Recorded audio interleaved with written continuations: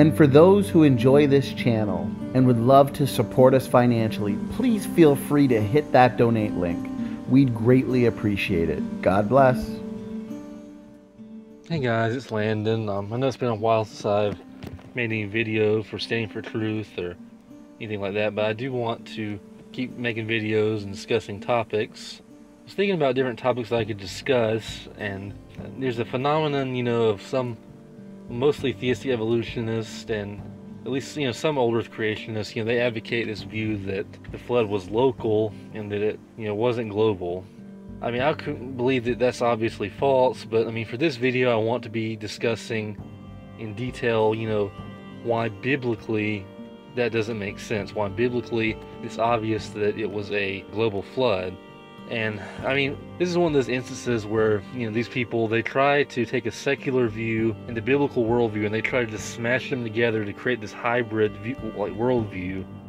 And it just doesn't work.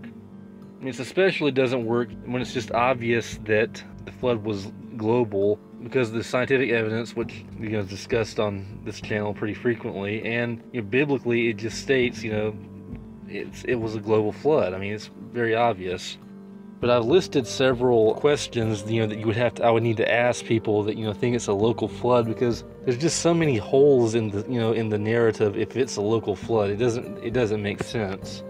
For instance, some of the points I want to bring up is, you know, that during the flood, the mountains were covered and, you know, they ended up landing on Mount Ararat. So, I mean, if, that, if it was local, I mean, that's a pretty high flood to be a local flood if it's covering mountains. Also, the ark would be pointless in a global flood scenario. I mean, why would Noah spend so much time building an ark if it was a local flood? You know, why couldn't they just leave the region?